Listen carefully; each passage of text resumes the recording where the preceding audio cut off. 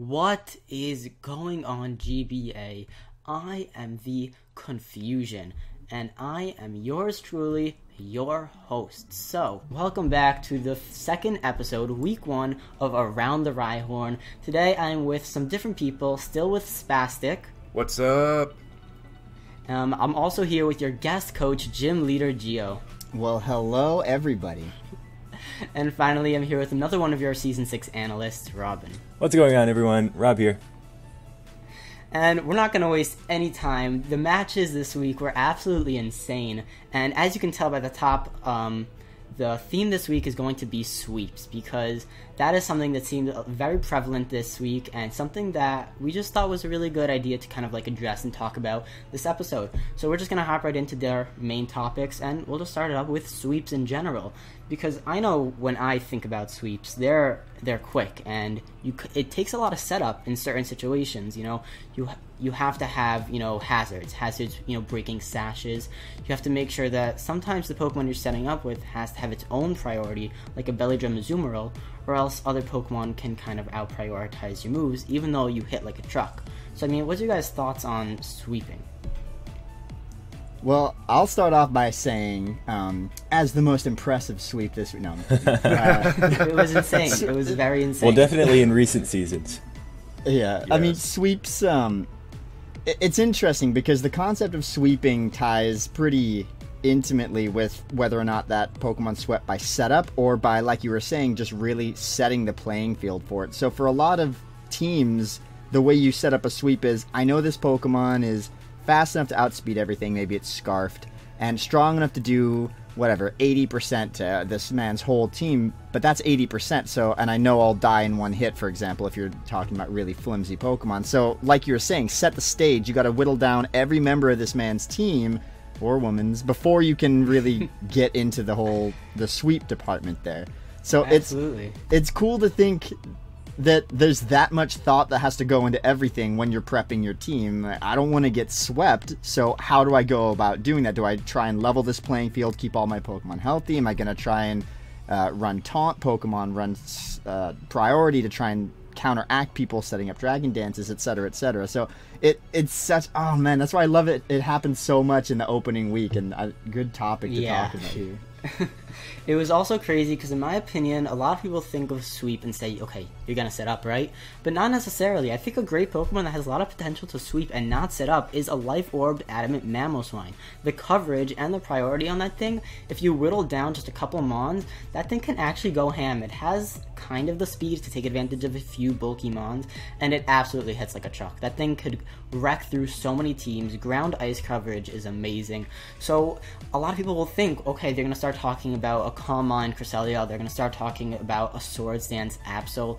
Um, we also saw in Mogwai's um, battle that Jirachi heart like you know, just stopped him.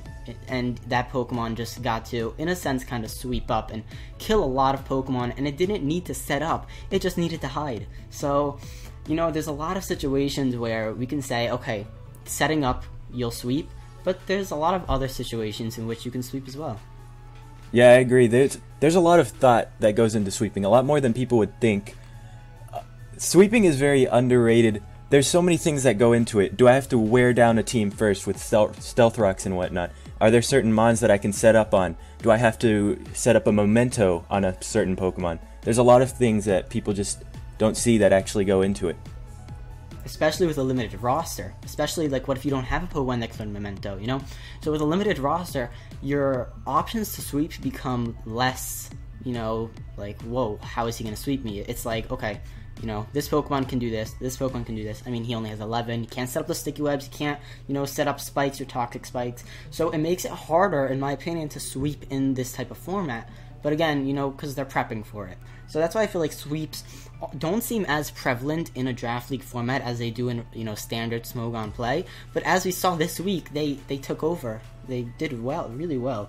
So um, I think we'll just jump into our next topic, which is planning for the whole sweep, which is team building, and it's so important. So I mean, I kind of want to hear um, your insight, Geo, on how you usually team build for um, certain threats. Yeah, so uh, really good point to bring up that to keep this separate from like talking about it conceptually and then talking about it as far as team building is concerned for the league format because it really is a completely different beast. When you bring six to the ladder on Showdown, for example, you already know what your potential sweeper is, and you can immediately you have to assess the team and see well where's the stop in this sweep. When you're bringing 11, it's a little different because you see everything that could on their roster be a, a potential stop to that sweep.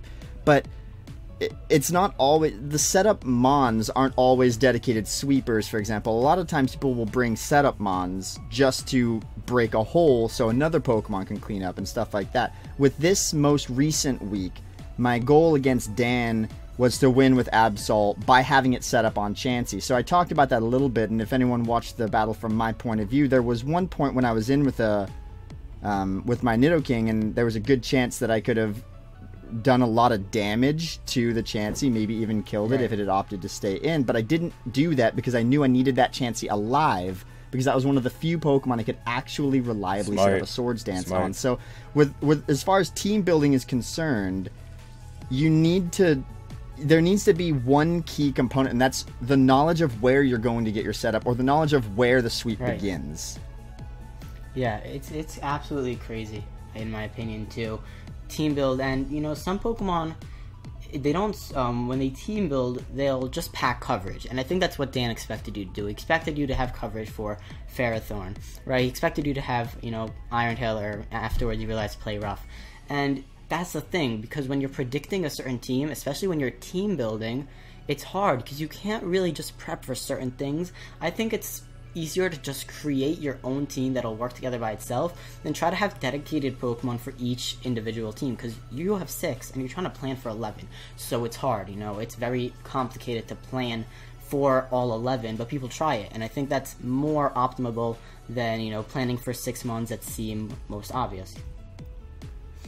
I mean, it is it is always good to find the six mons that are like the biggest threats on their teams. Like who are their potential sweepers and who are their like big walls that can just sit in front of your team and take damage all day and not care. So you, I mean, yeah, you got to plan for the whole team because this is the draft format. You never know what they're gonna bring.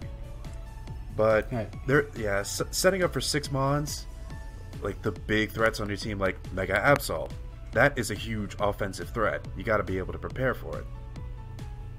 Yeah. Also, um, when team building, people try to say, if I bring this, it's too obvious. It's too obvious. They're gonna expect it. But sometimes I look and I'm just like, but it's okay. We saw in um, Old Man Tup's battle against the San Jose Sharpedos against Tom, a Hurricane uh, Mega Pidgeot just crapped all over his team. Like it just it threw them out. And yes, it was predictable that he knew that's what Mega Pidgeot was coming to do.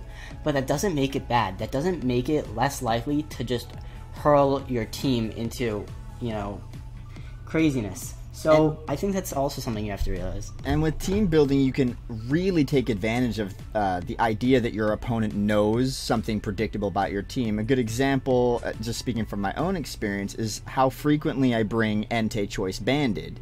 Um, because I can definitely use that to my advantage, and I have in the past. Like the assumption that I'm going to bring a Banded Entei with E Speed and Sacred Fire and then people go, well, this thing is a monster. What am I going to do to stop it? And then I know sometimes that they will bring a Mon in a very specific role. Like I can predict that their water type, which could be offensive, could be defensive, is going to go defensive because it has to. Otherwise, how are they going to stop Entei? It, you can exactly. use that to your advantage. My predictability makes a member of their team more predictable.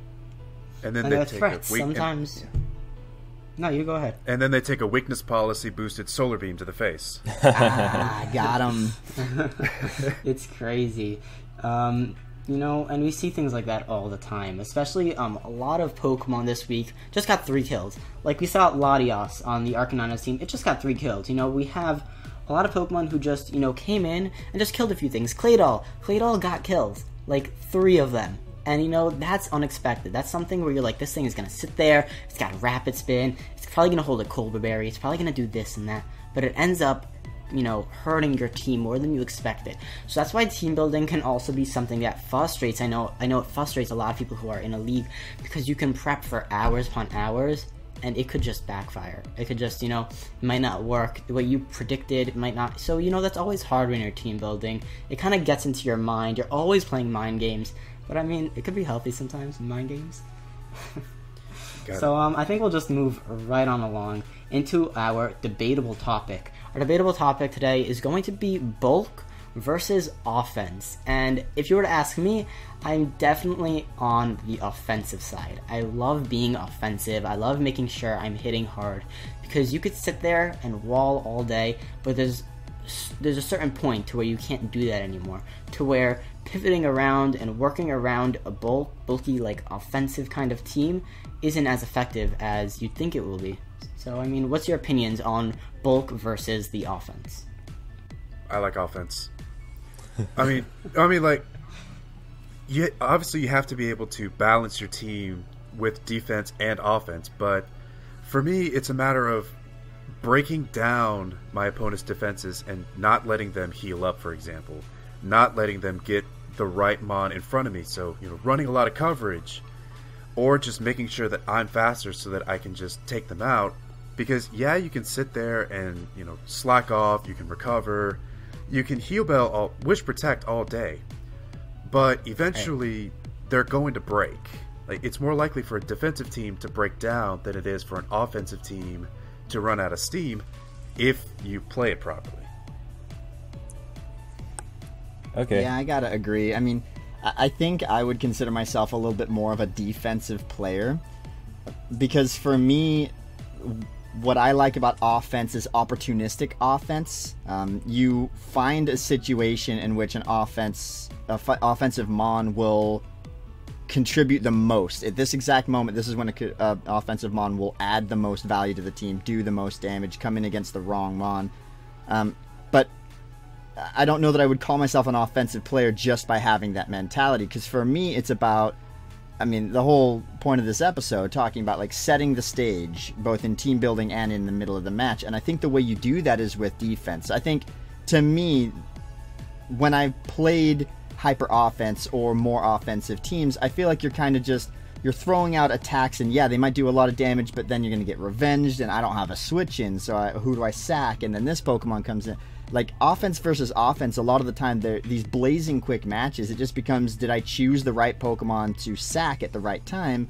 And you're just throwing offense out. Obviously we can all agree that uh, being able to have your selection of offensive and defensive in the draft format is really beneficial. Yeah. but i guess for me i just i prefer the defensive. I prefer having that x factor removed. Like oh this guy brought coverage for me okay well it's it's still not a two hit ko versus oh, this guy brought coverage for me, and I got one shot because I was not expecting it, which is happens a lot on hyper offense teams.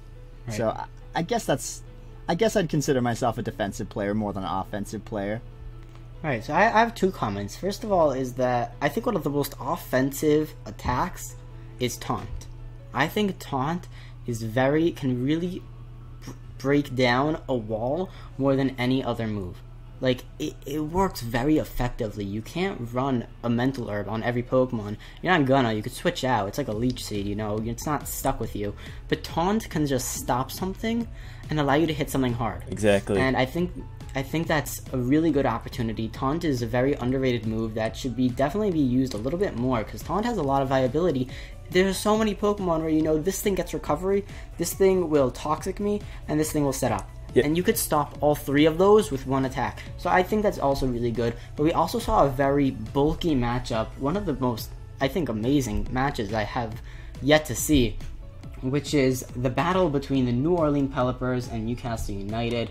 Such a bulky battle. The, the battle was over 50 turns, but it was so good because it was it was hard to watch. There were two bulky sides just having at it. You have Klefki and Suicune up against an Umbreon and a defensive Landorus, and you're just trying to move around and whittle each other's team. And it really just went down to who whittled each other's team more effectively, or to a certain point where the late sweeper could kind of come in and finish it up. So it's hard to, you know, see whether the bulk will take you to the end or the offense will. Exactly.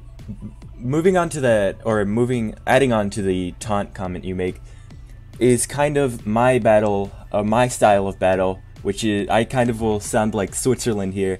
I prefer bulky offense, kind of in between. Um, yeah, I like my I like my offensive mons to also be able to take a hit and even maybe transition into some sort of wall in the in the way that taunt won't really affect them as much. They can dish out a hit just as just as hard as they can uh, take a hit. Right, yeah. So you know what? Let's lighten up the mood. We're gonna go quickly into our lightning round. Basically, we're gonna play a little game this time. No questions. It's just gonna be a coverage game where I'm going to be asking. Um, I'm gonna be actually. There's gonna be 15 Pokemon for all three of you. So 15 for Geo, 15 for Spastic, 15 for Robben, Wow. And I'm going to name these Pokemon one by one, and next to that Pokemon, I'm also going to give you a type. So, for example, I will say, okay, Spastic, Weavile, and the fighting typing. And you're going to have to think very quickly does Weavile get any fighting coverage? In this case, you would say yes. Yes, it gets does. low It kick. gets. It gets low kick. There you go. You already know. so, um, you know, so basically that's how it's going to work. We're going to go through 15 Pokemon very, very quickly.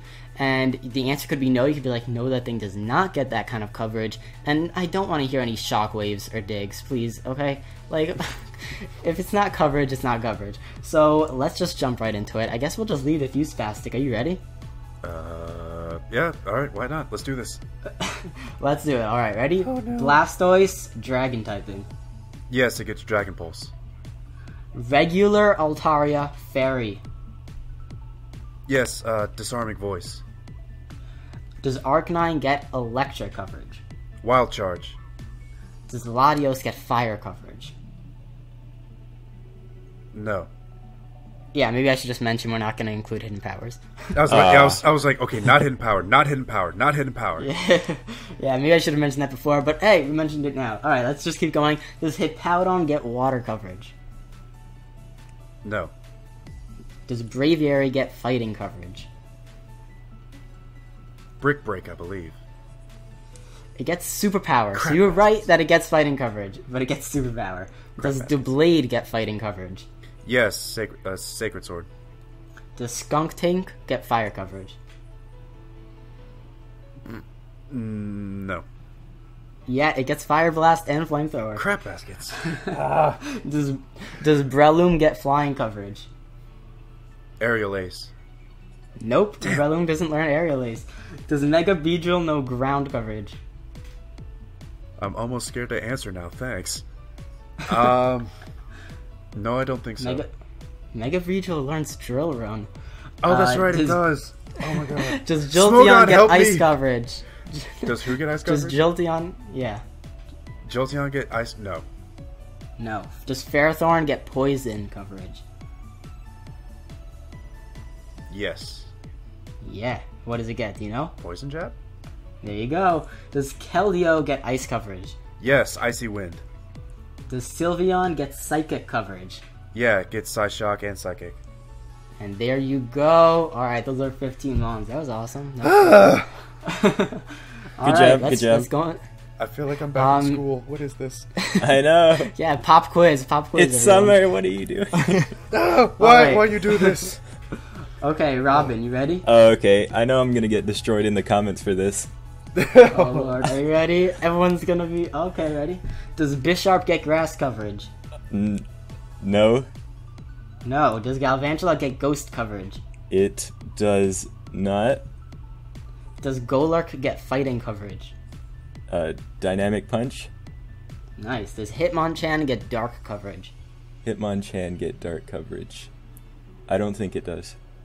It does not. All right. Granbull get ice coverage. Does it get ice punch? Yeah. Does Excadrill get rock coverage? Um, rock slide. Yep. Does Nidoking get electric coverage? Nidoking get electric coverage. I don't. I don't think it does. Ah, Yes. Oh, Geo's gonna kill you. Yes. Thunderbolt! Thunderbolt Geo, and Thunder. no! Come on. I didn't mean it. Let's keep. All right, let's Sorry. keep going. It doesn't make any Infinite- sense. Does in- Little King has so much coverage. Don't even start.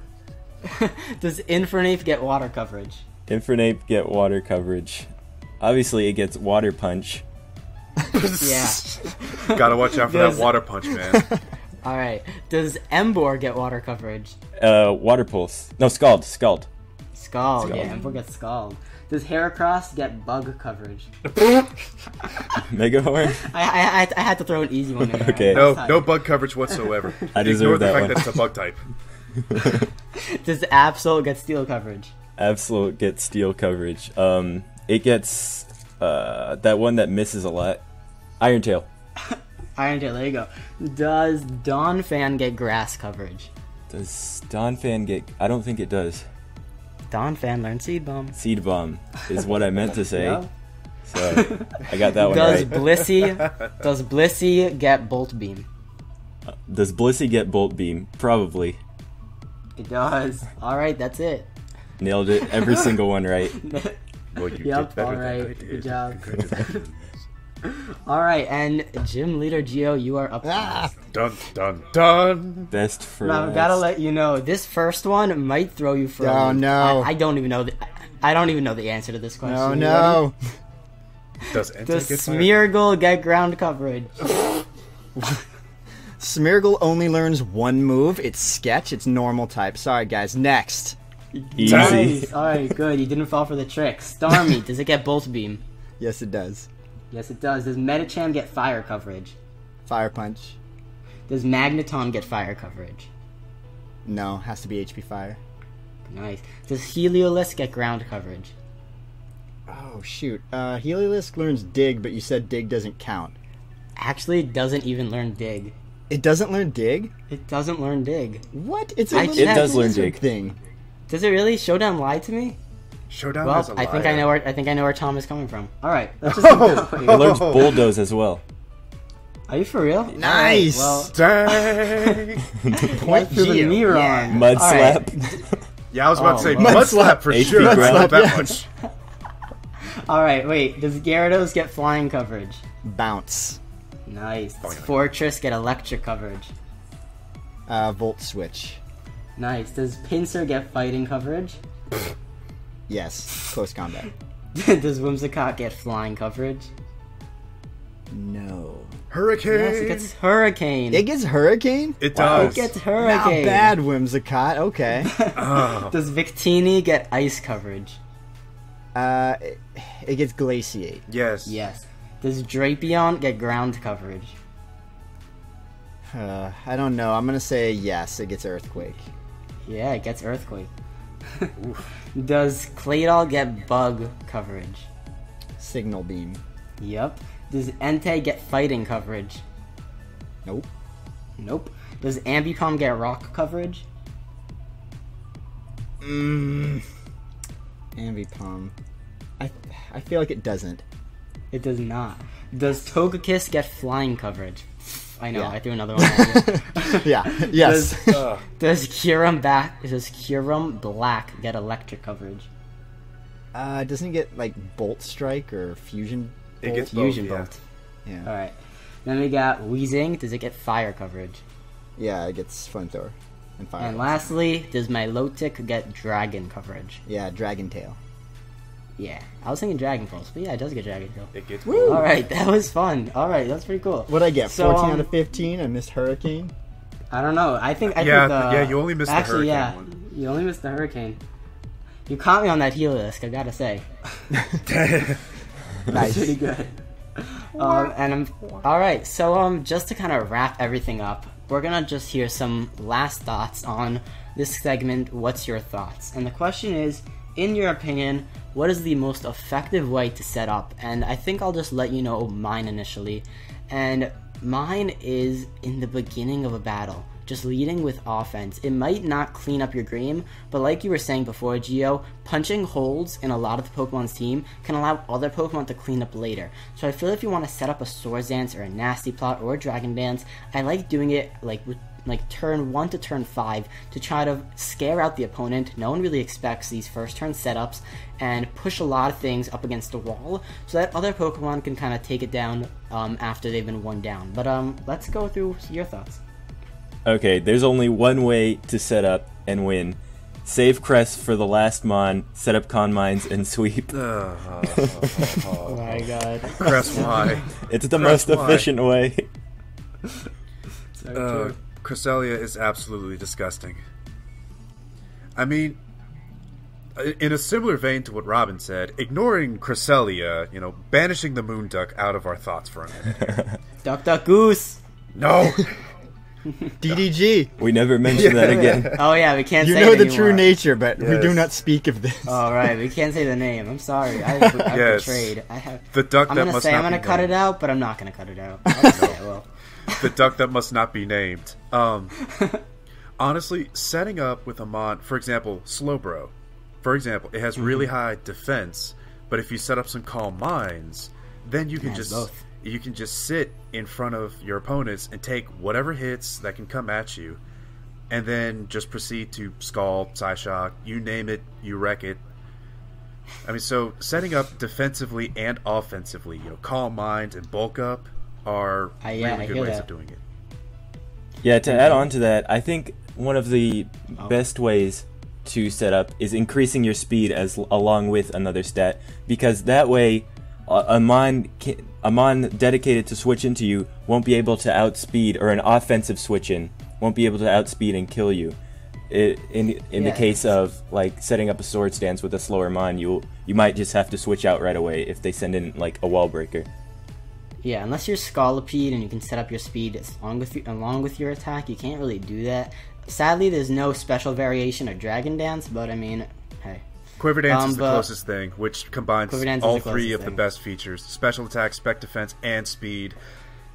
Yeah, Shell smash, guys. Shell smash. Shell Smash. Wow, yeah, that's what's the most what's the most used smell s- smell smash. Smell smash. smell smash? What's the most used smell smash? That's uh, I think it's Cloyster, isn't it? Cloyster, I think. Cloyster. I think it's Cloyster. But um, we do have Gorebyss in the league this season, so I'm Yeah. excited to Yeah. see that Orbis thing. with that shell smash pass. Oh my No. god, Smash Oh god, Pash, no. Smell Pash. Smell. Smell pash. Smash. I'm Smell done. pash I sashing. quit. I quit. I can't do these things. I don't know how to say tongue twisters. How I'm do done. words? how, how do you learn English? Oh my god. okay. Well, Guys, um, there's I- only one way to sweep. I think we know. I, I'm gonna tell you right now. I'm gonna tell. I'm gonna All right. share the yeah, secret. yeah. Give us some insight. Everyone, be quiet. No, it's uh, for me. It's scout first, sweep, or scout first, Okay. set up next. Because uh, the the risks of setting up early. I do agree with you that sometimes an early setup can catch people off guard and can you punch one unexpected hole and that puts the person playing from behind the eight ball the entire rest of the game. But for me, you need to know what you're up against and while you can have a pretty good idea in the league format you got to scout it out first because all it would have taken was you know one scarfer here or one assault vest there that you're not expecting and all of a Right, sudden even a focus calm mind setup huh Even a focus sash can just stop the whole setup. yeah, You know? absolutely. So it, it helps a lot to kind of get a view of the opponent's team. Um, because even then, like a lot of the time, you can set up once, take out one Pokemon, and then be like, "I'm gonna save this Mon for later. I'll set up again. I, I will find another opportunity." You know, but to you can even use that setup to scout, and I, I think Right. that's the most important thing. The knowledge you have of your opponent's team is way more valuable. Right. Well, thank you all for coming by and watching this week's episode of Ryan the Rhyhorn. Thank you to our guests, being Gym Leader Geo and Robben. Thanks for coming along. No problem. And um, that that is all the time we've got. Don't forget to subscribe for more and follow us on our Twitter and our website, which is right there on the screen. That is all the time we've got. Thank you all for watching.